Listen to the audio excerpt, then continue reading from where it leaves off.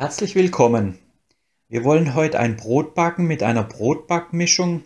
Das soll also ganz einfach gehen. Man vermengt einfach das Mehl und die ganzen Inhaltsstoffe sind schon alles drin, nur mit etwas Wasser. Bei unserem Brot, wir möchten es im Kasten backen. Dazu haben wir noch hier eine Kastenform. Die können wir derweil mit, äh, mit ein wenig Margarine innen auspinseln. Und dazu habe ich noch etwas Haferflocken ähm, die kommen auf die Oberfläche von dem Brot, damit es besser aussieht. So, nun können wir einfach äh, zu 500 Gramm von dieser Backmischung 300 Milliliter Wasser dazugeben.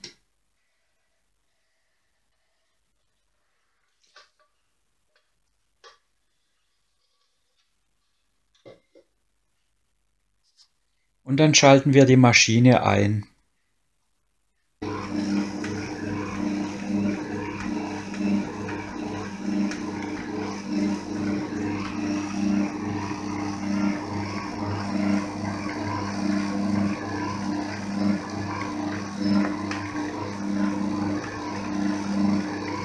Anschließend können wir, wie gesagt, äh, unsere Form einfetten mit etwas Margarine.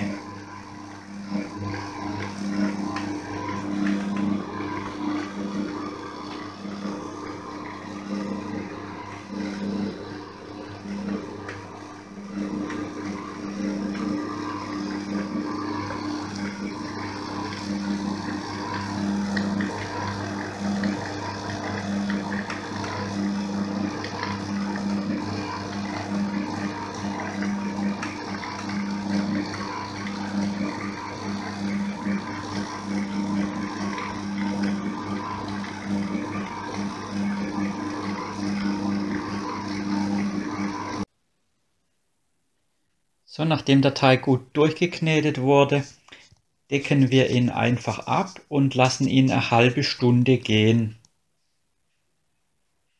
Am besten mit einem einfachen Küchentuch.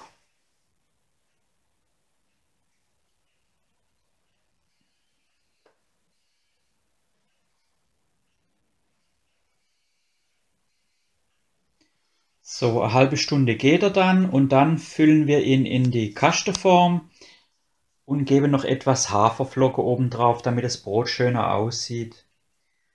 Also ich muss sagen, es ist doch äh, viel einfacher, so eine Brotbackmischung zu verwenden, als die ganze Zutaten einzeln reinzu, reinzufüllen.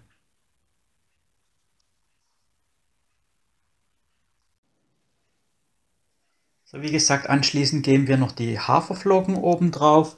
Man kann alternativ auch Sonnenblumenkerne oder ähnliches verwenden.